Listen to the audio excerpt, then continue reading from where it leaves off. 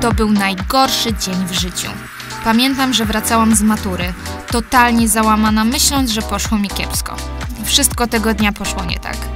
Ale okazało się, że zdałam całkiem dobrze, a studia, na jakie poszłam, okazały się strzałem w dziesiątkę.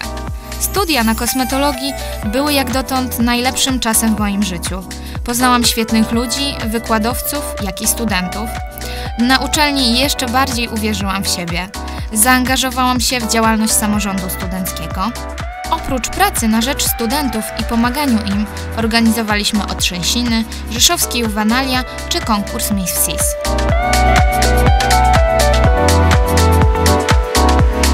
Jeszcze podczas studiów założyłam własną firmę. Na Facebooku i Instagramie prowadzę relacje live z mojej pracy. Wykonuję makijaże na śluby, imprezy, ale także przygotowywałam uczestników Rzeszów Karpatia Festival czy reprezentantkę Polski w konkursie piosenki Eurowizja. Już dziś osiągnęłam wiele, ale ciągle czuję, że najlepsze dopiero przede mną. Gdybym miała ponownie wybierać uczelnię i kierunek studiów, to na pewno byłaby to kosmetologia we.